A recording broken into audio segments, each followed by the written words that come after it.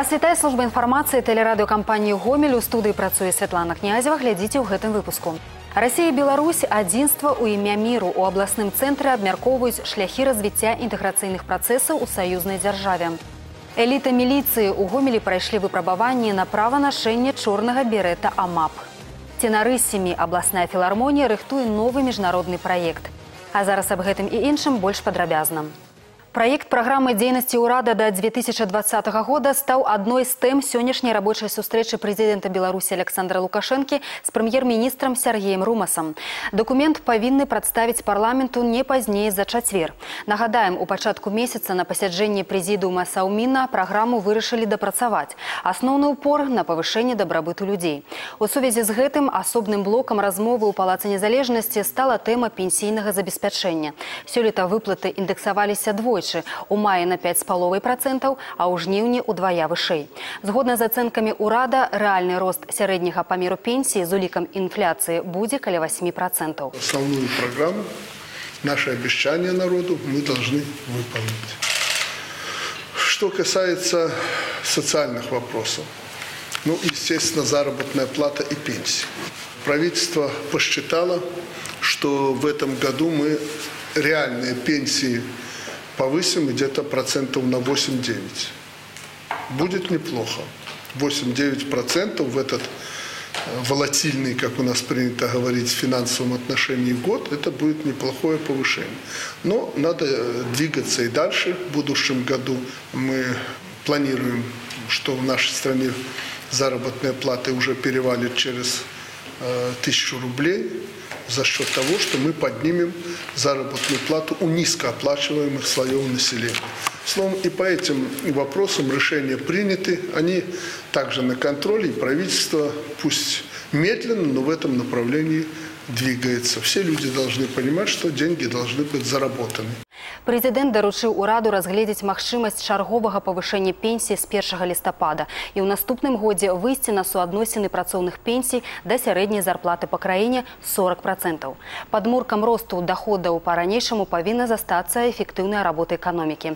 І тут немалаважны фактар развіццё імпартазамяшчэння і барацьба з пасрэдніцтвам, якая часта становіцца асновай карупцыйных схем.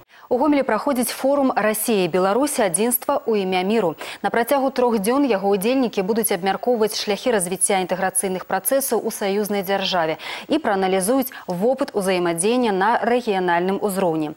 На сённяшнім пасяджэнні круглага стала пабывалі нашы корэспандэнты Гомельскі форум у пэўнай ступені можна лічыць працягам форуму рэгіёну Беларусі і рассіі, які на мінулым тыдні прайшоў у Магілёве. Праўда, на гэты раз асноўную ўвагу надалі пытанням супрацоўніцтва ў гуманітарнай сферы і ідэалагічнаму напаўненню інтэграцыйных працэсаў. Сусветная практыка сведчыць, толькі эканамічныя фактары утрымаць дзяржавы ў саюзе не могуць. Неабходныя ідэі здольны аб'яднаць народы. На думку удзельнікаў круглага стала сярод першых крокаў у гэтым накірунку як мага больш поўная і праўдзівая інфармацыя об реальной ситуации у краинах-партнерах. Я считаю, что основная наша сейчас задача – это наладить объективный информационный обмен между Россией и Белоруссией.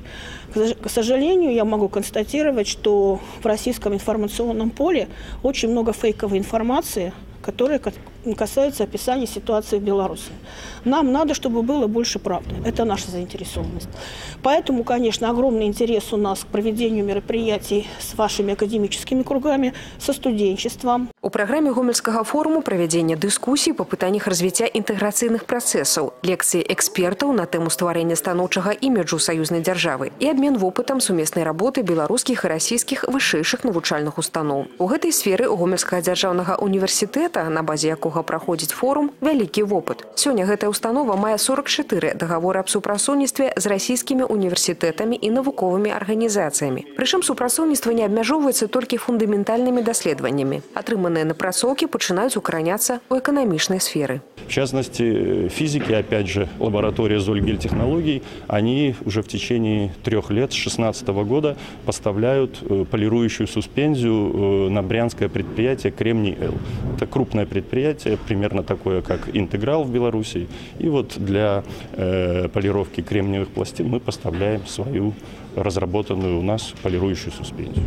Олег Сенцюров, Ольга Коновалова, Валерий Гапанько, телерадиокомпания «Гомель». Працягваем выпуск. 25-26 кастрычніка ў гомелі пройдзе першы форум рэгіёнаў Беларусі і Украіны. Сёння да гэтай падзеі рыхтуюцца не толькі на ўзроўні міністэрстваў і ведомстваў, але і асобныя прадпрыемствы, якія маюць трывалыя эканамічныя сувязі з суседзямі. Олег Сенцюроў наведаў акцыянернае таварыства Светлагорск хімвалакно. Вось з такога абсталявання ў сярэдзіне 60-х пачыналася Светлагорскае хімвалакно. Менавіта на такіх станках выраблялася корная тканіна для колу практычна ўсіх аўтамабіляў Советского Союза. Можно сказать, что дякуючи Светлогорской продукции, рух у великой державе не спыняўся ни на хвіліну. Сёння тую тканіну можна ўбачыць толькі ў музеі. За мінулы час прадпрыемства не толькі пашырыла свае граніцы, але і асвоіла десяткі новых відаў прадукцыі, за якой вырабляюцца канкурэнтназдольныя рэчы, пачынаючы ад спецыяльных касцюмаў для спартсменаў, пажарных і ваенных да лячэбных боксаў, дзе чалавек можа пазбавіцца ад назапашанага электрамагнітнага выпраменьвання і аднавіць сваё біяполе. Геаграфія экспарту акцыянернага таварыства Светагорск хімвал волокно каля 40 краін свету, у якім Украіна займае далёка не апошняе месца у адміністрацыі прадпрыемства яе называюць стратэгічным партнёрам.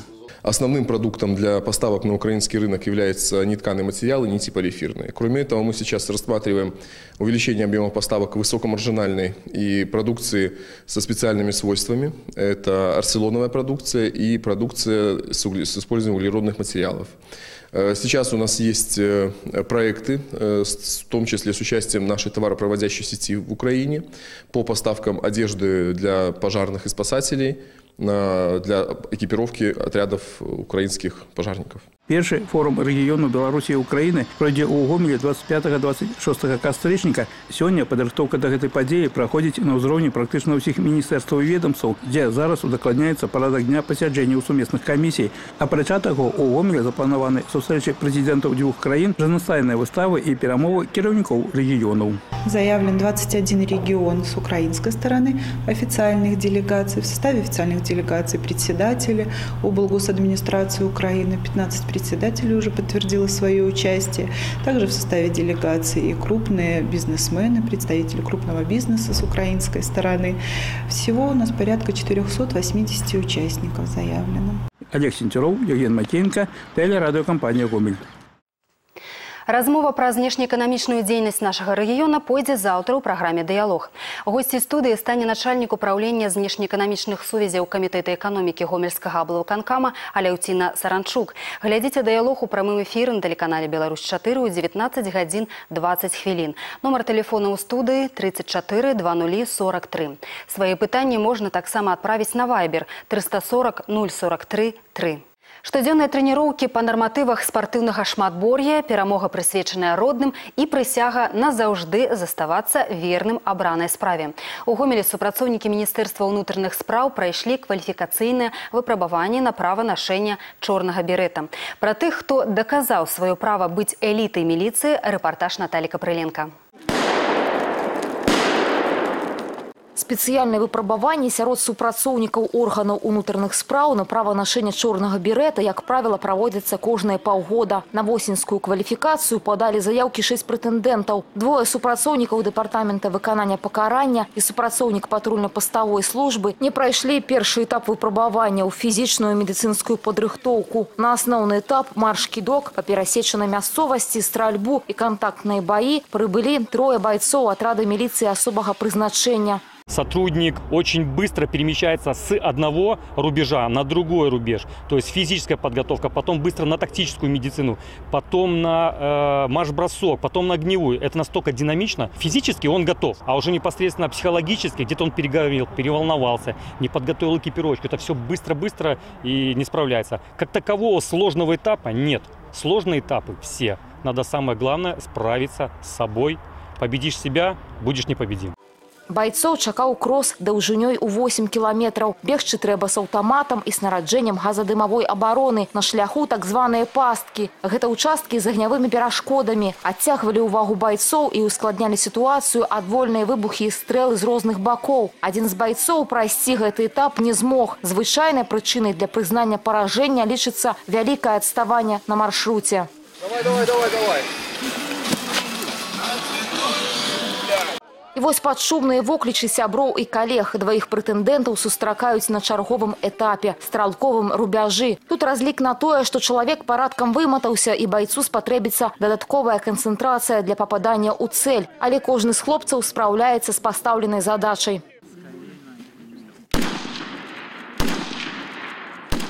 І вось яны ўжо не калегі па выпрабаванні, а сапернікі ў спарынгу па рукапашным баі. Толькі адным паядынкам кваліфікацыя на чорны берет не завяршаецца. Кожны з байцоў вытрымлівае яшчэ па два спарынгі з тымі, хто не ўдзельнічаў у выпрабаваннях. Фінал вельмі эмацыянальны, але галоўнае результатыўны. Это парни, которые отучились в учебном центре МВД Республики Беларусь. Мы их подбирали сами. Они пришли на общих основаниях из числа гражданской молодежи. Парни доказали мужественность свою, свое чувство стремления, свое чувство воли к победе. Один з пераможцаў Іван Маскалёў яшчэ не ўсведамляе, што адстаяў свой запаветны чорны берет. Першае, што вырываецца ў яго на камеру, вельмі хоча перадаць прывітання сваёй маме.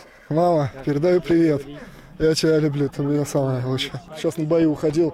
Такое ощущение было, когда в армии участвовал в боях тоже. Ну, бравость такой, адреналин берет. И думаешь, марш э, по сравнению с боями, марш показался раем. Как бы Думаешь, как бы еще чуть-чуть пройдет одышка, только не опускайте рук, братишка. Яшчэ адзін пераможца Яўген Рэбікаў доўгі час займаўся вольнай барацьбой, быў нават членам нацыянальнай каманды. Аднак зараз ніколькі не шкадуе, што пакінуў спартыўную кар'еру і стаў працаваць у міліцыі. После вольной борьбы так сложилось, пришлось работать. Выбрал вот это подразделение, так как считаю, что это очень достойно, и я горжусь, что я именно меня сюда взяли, я прошел все эти испытания. Для меня это очень как говорится, серьезно и достойно. Цяпер малодшыя сержанты пераможцы выпрабаванняў змогуць па праве лічыцца элітай міліцыі нават дапамагаць трэніравацца тым, хто можа і больш часу служыць у структуры, але не мае чорнага берета. Наталья Капрыленко, Валерый Гапанько, тэлерадыёкампанія Гомель. Працягваецца падрыхтоўка да перапісу насельніцтва. У лістападзе ў гомельскай вобласці пройдзе так званая праверка адраснай гаспадаркі. Спецыялісты ўдакладняць размяшчэнне жылых дамоў і правільнасць карт мясцовасці, усталяваных на планшетах рэгістратараў. З мэтай абмеркавання актуальных пытанняў сёння ў гомель запрасілі кіраўнікоў і спецыялістаў раённых аддзелаў статыстыкі. Працэдура перапісу насельніцтва пройдзе з 4 па 30 кастрычніка 2019 года. Гэтай маштабнай падзеі па папярэднейшая вялікая падрыхтоўчая работа, адзін з этапаў якой удакладнення карт мясцовасці. У адпаведнасці з імі потым будуць фарміраваныя перапісныя участкі. У наступным месяцы гэтай работай будуць займацца рэгістратары. Увогуле перапіс 2019 будзе прадугледжваць некалькі варыянтаў прадастаўлення інфармацыі. Сама перапіс праз інтэрнэт, запаўненне анкет на стацыянарных участках і па месцы жыхарства. А вось што тычыцца работы рэгістратараў, то наведванне імі кватэр і жылых дамоў не прадугледжана. С 6 по 30 э, ноября в Гомельской области будут работать регистраторы.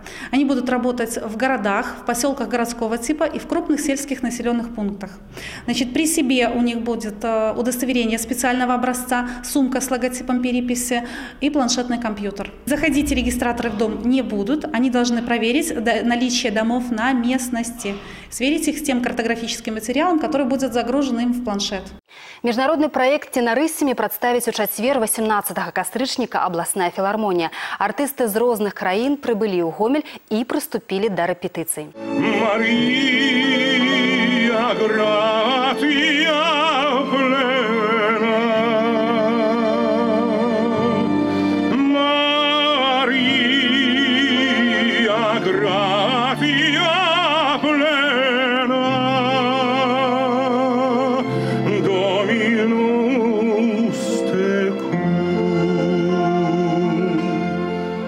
суправаджэнні эстрадна-сімфанічнага аркестра імя Юрыя Васілеўскага выступіць знакаміты оперны спявак ізраільскі тэнар Яўген Шапавалаў. Яшчэ адзін саліст праграмы залаты голас опернай сцэны ўкраіны Уладзіслаў Гарай. Спецыяльны госць вечара расійскі спявак і кампазітар Віктор Чайка. Праграма складзена з твораў розных жанраў. Напрыклад, у яе ўключаны оперныя арыі, рускія рамансы і эстрадныя хіты. Многія з нумароў будуць выконвацца дуэтамі і трыо. Я должен вам сказать, я поражен. Оркестр замечательный. Э, э, просто были написаны партитуры э, и разложены в очень короткий срок. И это звучит просто великолепно. Есть кое-какие сюрпризы э, которые ожидают э, зрителя, потому что, я думаю, вы еще такого не слышали. Вот. Э, и даже Мурка будет, но она будет совершенно другая, совершенно в другом, так сказать, амплуа. Концерт адбудзецца ў чацвер на сцэне палаца культуры чыгуначнікаў. Гэтыя і іншыя навіны вы можете знайсці на нашым сайце ў інтэрнэце па адрасе трайной w.tvrгомель.бай. Далей у эфіры дэ-факта і спартыўны агляд. Я ж з вами развітваюся. Дзякуй за ўвагу і да сустрэчы ў эфіры. Эфир телеканала «Беларусь-4» продолжает де-факто. В студии Руслан Габрилев. Здравствуйте. Возмездие настигнет убийц. Для рассмотрения в суд направлено дело 30-летней давности об убийстве гомельского таксиста. Как пояснили в Следственном управлении УСК по Гомельской области, в ночь с 26 на 27 февраля 1984 года двое мужчин попросили водителя такси их подвести. По заранее разработанному плану пассажиры напали на водителя и долго и жестоко избивали его, а позже обессилевшего мужчину вытащили на улицу и бросили умирать на покрытом льдом озере. Добычей злоумышленников стали выручка, портмоне, наручные часы и другие личные вещи потерпевшего. Раскрыть это преступление по горячим следам не удалось. Однако следственная оперативная группа, которая выбывала на место происшествия, зафиксировала и изъяла следы ладони неустановленного лица. И спустя более 30 лет оперативным сотрудникам УВД Гомельского облсполкома из экспертного учреждения поступила информация о совпадении э, следов с места происшествия с отпечатками ладоней мужчины, арестованного за грабеж. Расследование уголовного дела было возобновлено. А, следователям тщательно были изучены материалы, которые имели отношение к этому уголовному делу, повторно допрошены свидетели, проведены следственные эксперименты, очная ставка и иные следственные действия. На основании всех доказательств, полученных по данному уголовному делу, э, следствие пришло к выводу о причастности к убийству таксиста э, жителя Реческого района. Один из обвиняемых в жестоком убийстве, ныне 55-летний мужчина, ранее неоднократно судимый за кражи, мошенничество, грабеж. Следственные действия и оперативно-розыскные мероприятия по установлению личности еще одного соучастника преступления продолжаются. Опасное наркотическое средство обнаружили гомельские таможенники в пассажирском поезде, следовавшем из Минска в Одессу. В пункте таможенного оформления Тюрюха служебная собака своим поведением указала на возможное нахождение наркотика в одном из вагонов.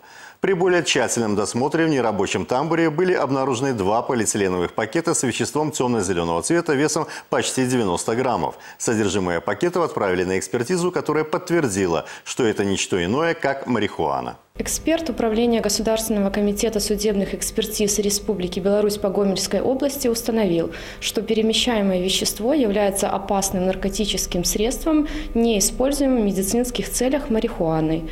Масса вещества составила около 88 грамм. По данному факту возбуждено уголовное дело. За прошедшие сутки на территории Гомельской области зарегистрировано 26 ДТП, в результате которых получили травмы три человека. На регулируемом пешеходном переходе на проспекте Октября в Гомеле под колеса автобуса попала 49-летняя женщина. Переходить дорогу по зебре она начала в момент смены сигналов светофора. В это время 68-летний водитель автобуса марки МАЗ подъезжал к пересечению проспекта Октября с улицы Жукова и на свой моргающий зеленый решил завершить маневр. В результате ДТП женщина-пешеход была доставлена в больницу больницу скорой медицинской помощи. 68-летний водитель автобуса МАСа при подъезде к пешеходному переходу не предоставил преимущества и совершил наезд на 49-летнюю женщину-пешехода. В результате женщина с травмами была доставлена в больницу, где после оказания помощи была отпущена домой. Такой обзор происшествий к этому часу. Оставайтесь с нами и берегите себя. Я Руслан Габрилев. Благодарю за внимание. До свидания. Продолжение эфира телеканала «Беларусь-4 Гомель» новости спорта. В студии Михаил Садовский. Здравствуйте.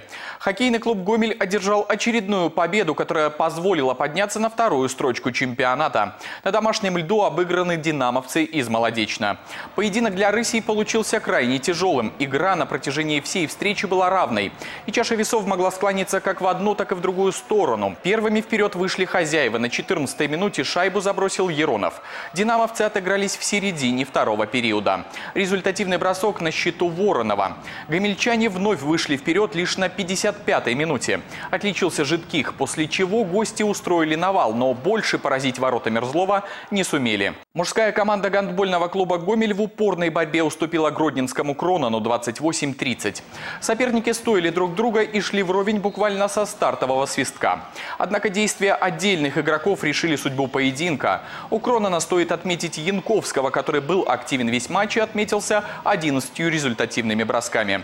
У гомельчан лучшим по набранным баллам стал Климовец, на его счету 7 точных бросков. Крайне напряженный и в то же время результативный оказался центральный матч пятого тура чемпионата страны по мини-футболу между Витеном и ВРЗ. Уже с первых минут стало понятно, что игра будет упорной и непредсказуемой. Чуть лучше начали подопечные Анатолия Яновского. Аршанцы тоже не отсиживались и отвечали контратаками. Они же и первыми вышли вперед благодаря удару Дмитрия Клочко. Ключевой момент матча произошел, когда основной вратарь хозяев вынужден был покинуть паркет из-за травмы темы. Сменивший его кипер тут же оказался вынужден доставать мяч из сетки ворот. Отличный удар получился у Матвиенко, а через три минуты младший из братьев Клочко Евгений вывел вагоностроителей вперед. Далее в игру вступил Белый, который сумел оформить дубль и уже лидировали хозяева. Уйти от поражения ВРЗ помог второй забитый Евгением Клочко мяч 3-3. Результативная ничья между лидерами первенства. Гомельская энергия потерпела первую неудачу в чемпионате страны по волейболу. В минувшем туре команда гостила в Минске, где ее экзаменовал строитель. В начале первого матча дебютант смотрелся очень достойно. После двух партий, в которых была совершенно равная игра, была ничья 1-1. Видимо, сказался класс соперника и далее строитель вначале вышел вперед, а после довел дело до победы. Во второй игровой день хозяева вновь оказались сильнее, на этот раз во всех трех партиях. Энергия остается на третьей строчке турнирной таблицы, Шахтер и Строитель пока идут без потерь. И в завершение выпуска о баскетболе женская команда «Гомель-Сош» успешно начала новый сезон. На выезде обыграна Гродненская «Виктория» 54-51. Лучшими в составе стали Гапонова и Хацевич, у которых на двоих 39 очков. На этом пока все. С новостями спорта вас знакомил Михаил Садовский. Оставайтесь на «Беларусь-4».